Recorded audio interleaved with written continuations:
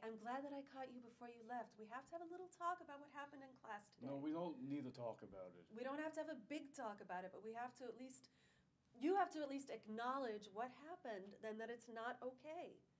Steven, it's not okay to throw things in class. You know that. It got his attention, didn't it? Yes, it got his attention, but it's not an appropriate response, and you know that, don't you? Steven?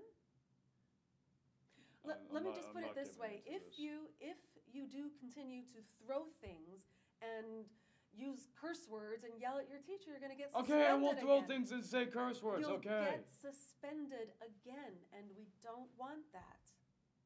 And, and also, don't call other kids terrorists. Okay, the terrorist thing, out. Okay. Okay. I Okay, all right, good. Well, let's not talk anymore about this then, especially not. since it's your birthday. Yeah, it's my birthday. And I got you a little present. So can you guess what it is? 9.5? I wish I could afford that on my budget.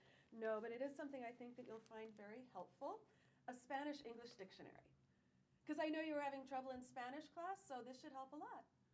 And plus, now that you've met Jeremy a little bit better, maybe you guys can uh, talk. Be good practice for you. Anyway, enjoy the rest of your birthday, and you boys enjoy your cake tonight, and we'll see you tomorrow.